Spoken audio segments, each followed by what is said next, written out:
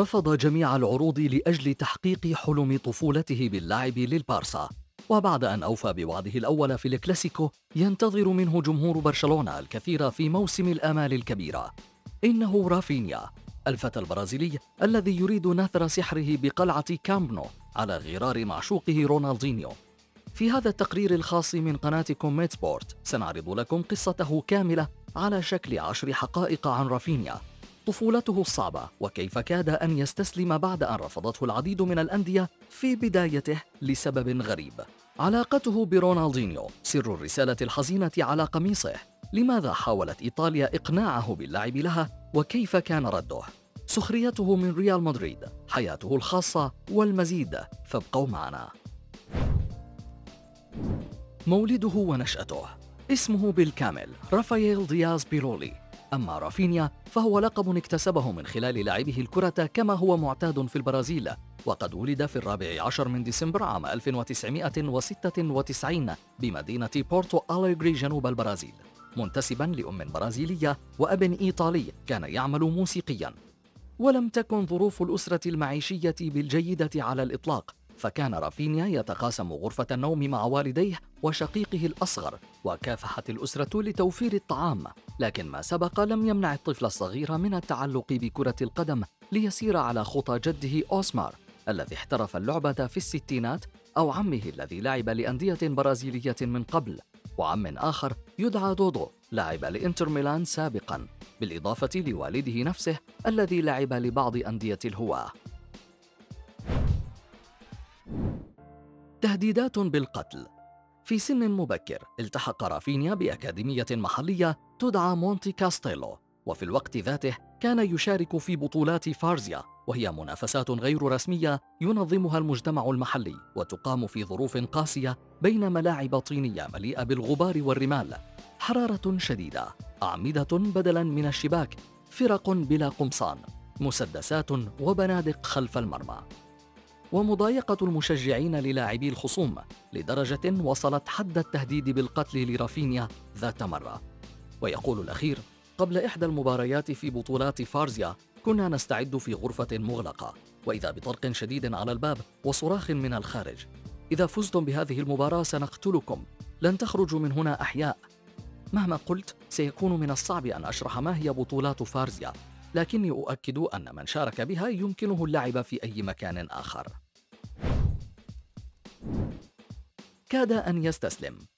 ظل رافينيا يشارك في فارزيا حتى سن الثامنة عشرة لكن كان لديه حلم اللعب الانترناشونال وحاول بالفعل الالتحاق بالنادي قبل أن يتم رفضه ثلاث مرات بحجة أنه نحيف للغاية.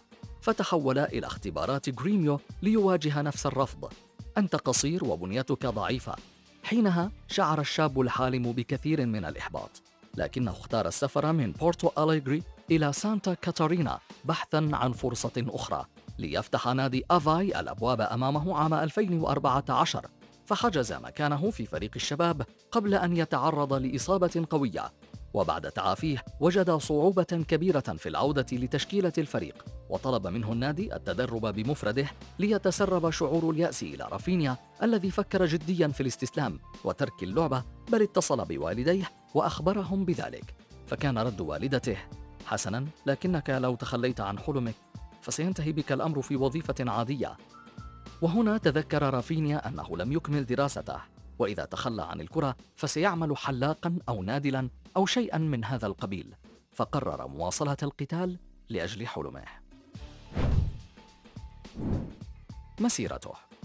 بعد تألقه مع أفاي وقع رافينيا عقدا مع نجم برشلونة السابق ديكو الذي أصبح وكيلا للاعبين. ومن خلاله عرف الطريق إلى أوروبا في فبراير 2016 حيث انضم إلى فيتوريا جيمارايش البرتغالي ليتألق معه ويحصل على جائزة لاعب الموسم داخل النادي عام 2017 وبعدها انتقل لسبورتنج لشبونة ليزامل برونو فرنانديز ويتوج بلقبي كأس البرتغال وكأس الدوري البرتغالي عام 2019 ثم تواصلت مسيرته مع رين وليدز يونايتد قبل أن يحط الرحال في برشلونة. أما على الصعيد الدولي يلعب رافينيا لمنتخب البرازيل منذ أغسطس 2021 ولديه تسع مباريات دولية سجل بها ثلاثة أهداف. رفض اللعب لإيطاليا. نسبة إلى أصول والده الإيطالية كان رافينيا مؤهلا لحمل قميص الأزوري. بل إن الاتحاد الإيطالي حاول استمالته عام 2020 لكنه رفض بعد نصيحة وكيله ديكو ويقول الأخير في 2020 قام الاتحاد الإيطالي بمحاولات قوية لإقناع رافينيا باللعب لإيطاليا لكني أخبرته بأنه ستكون أمامه فرصة كبيرة في تشكيلة البرازيل لأنه يملك خصائص مختلفة عن باقي اللاعبين في مركزه. شعرت بأنني سأفقد قدمي. عندما كان لاعبا لليدز يونايتد وفي إحدى المباريات أمام مانشستر سيتي تلقى رافينيا ضربة قوية في الفخذ من مواطنه فرناندينيو ما أدى لتجمعات دموية في ساقه وتسبب في خضوعه لجراحة آنذاك. ويتذكر رافينيا تلك الواقعة قائلا فرناندينيو ضرب فخذي بالقوة فوضعوا لي ضمادة على مكان الضربة لكن عندما عدت إلى المنزل كانت قدمي اليسرى متورمة بشكل مرعب. انخفض ضغط دمي اتصلت بالطبيب فنقلني إلى المستشفى. كان الألم شديدا لدرجة أنني اضطررت إلى تخدير. لم أستطع المشي لم أتمكن حتى من ركوب السيارة. شعرت أنني سأفقد ساقي. لكن في النهاية تعامل الأطباء مع الموقف. سخر من ريال مدريد. بعد انتقاله لبرشلونة لم ينتظر رافينيا طويلا ليكسب ود جماهير البارسا عن طريق السخرية من الغريم ريال مدريد حيث نشر اللاعب عبر خاصية ستوري بإنستغرام صورة مركبة له بدلا من صورة شهيرة لكيليان مبابي في طفولته بغرفة نومه. ومن حوله صور ريال مدريد وأساطير النادي الملكي في مقدمتهم كريستيانو رونالدو. لكن تم التلاعب بالصورة ليصبح الموجود فيها هو رافينيا بدلا من مبابي. وتم تغيير صور ريال مدريد وأساطيره بصور لأبرز نجوم برشلونة على رأسهم ميسي. ولاقت تلك الصورة تفاعلا كبيرا في وقت اعتبرها مشجعو الريال استفزازا لهم بعد فشل صفقة مبابي خاصة وأن عشاق الميرينجي لطالما تداولوا تلك الصورة الشهيرة لمبابي كدلالة على أن قدوم الأخير أمر حتمي. جوانب أخرى. عن مثله الأعلى يقول رافينيا رونالدينيو كان مثلي الأعلى دائما. عندما بدأت فهم كرة القدم كان رونالدينيو في برشلونة. لقد رأيته دائما يقوم بأشياء مذهلة. كما اعتاد رافينيا أيضا على مشاهدة الفرنسي تييري هنري في طفولته. أما بالنسبة لحياته الخاصة فيرتبط اللاعب بفتاة برازيلية تصغره بثلاثة أعوام تدعى ناتاليا رودريغيز. كان قد تعرف عليها منذ فترة قبل أن يتزوجا في فبراير الماضي. في المقابل يمتلك رافينيا وشوما عديدة في أماكن متفرقة من جسده. منها وشم بسنة ميلاده ووشم لكرة وآخر يرمز لطفولته وبطولات فارزيا. إضافة لوشوم تتعلق بديانته علما بأنه مسيحي كاثوليكي. علاقته برونالدينيو. بالنسبة لرافينيا لا يعتبر رونالدينيو مجرد مثل أعلى فحسب بل صديقا. وأحد أسباب تلك الصداقة أنهما ينتميان لنفس المدينة بورتو أليغري ففي عمر السابعة ذهب رافينيا لحضور حفل عيد ميلاد الساحر البرازيلي رفقة والده الذي كان يعمل ضمن إحدى الفرق الموسيقية المتواجدة بالحفل. ويقول رافينيا عن ذلك أتذكر يوم الحفل كان رونالدينيو بدأ للتو اللعب مع برشلونة.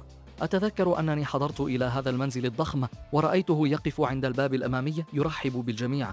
عندما رآني أخذني بين ذراعيه وتجول معي. لقد تجمدت حينها. إنه يعامل الجميع بشكل جيد حتى الصغار. لقد قابلته عدة مرات منذ ذلك الحين. وأشعر بالسعادة لأنني أعتبره صديقا. وتجسدت علاقة الثنائي في موقف آخر حينما توفيت والدة رونالدينيو في فبراير 2021 ولم يتمكن رافينيا من الذهاب إلى البرازيل لتعزية نجمه المفضل لارتباطه بمباراة مع ليدز أمام ساوثهامبتون. وحينها قرر أن ينعي والدته عبر قميص داخلي ارتداه أسفل قميصه الأساسي وكشف عنه بعد تسجيل هدف بالمباراة أهداه لروحها. تفاصيل عقده مع برشلونة. انتقال رافينيا إلى برشلونة كلف خزينة الأخير 58 مليون يورو إضافة لتسعة ملايين كمتغيرات كما وقع اللاعب على عقد مدته خمس سنوات. على أن يتقاضى راتبا سنويا بقيمة ستة ملايين يورو بالإضافة للمكافآت والحوافز مع وجود شرط جزائي يقدر بمليار يورو. ومن المقرر أن يسدد برشلونة قيمة الصفقة على ثلاثة أقساط متفرقة. وبهذا الصدد كشفت صحيفة ذا أتلتيك وجود بند في العقد يقضي بدفع البارسا 12 مليون يورو كغرامة يحصل عليها ليدز في حال تأخر النادي الإسباني في دفع أقساط الصفقة. في ختام هذا الفيديو وبعد أن حقق الوعد الأول بالتسجيل في شباك الريال بالكلاسيكو هل تتوقعون وفاء رافينيا بباقي الوعود عبر تقديمه موسما ناجحا مع برشلونة؟